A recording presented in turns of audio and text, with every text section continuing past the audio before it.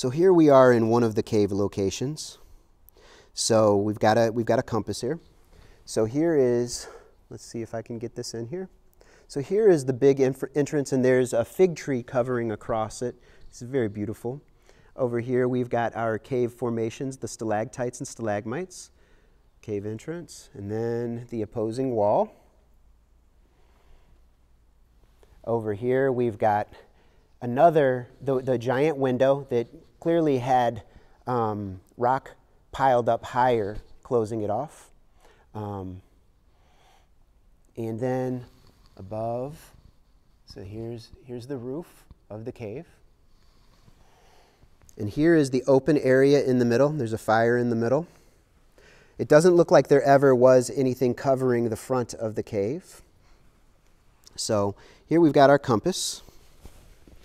So if you notice, so um, we have east. So here's east. And then the area where everything collapsed is west. So there's light that possibly comes in part of the day from the east, part from the west. That's quite interesting. The Qibla is facing this, this way toward the east a bit. So it looks like uh, southeast.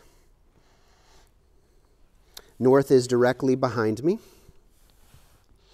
So again, we've got east, so sunrise, west, sunset.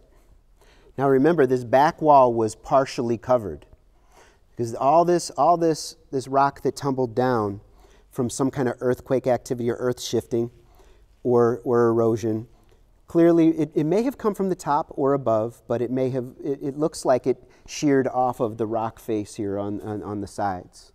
So I'm not, I'm not certain about this, but it's interesting. So this is something for us to consider. And also some rock may have been taken out by locals at different points for building materials. Um, so we, we, we just never know. I like that there's a fig tree here at the entrance because clearly the fig tree is very important in biblical material as well as in Quranic material and hadith. It's said to be one of the, the fruits of paradise. Uh, there's a whole surah called, called the Surah of the Fig. Um, it's spoken of by Isa alayhi salam um, uh, within the text that we have from him.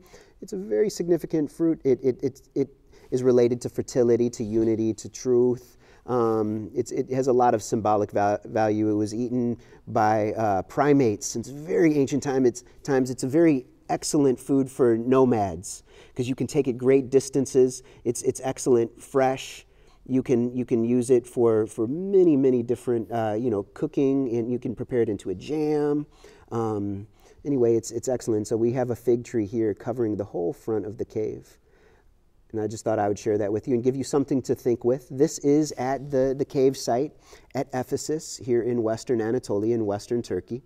Um, so now we will go and see the official section, inshallah. Assalamu alaikum.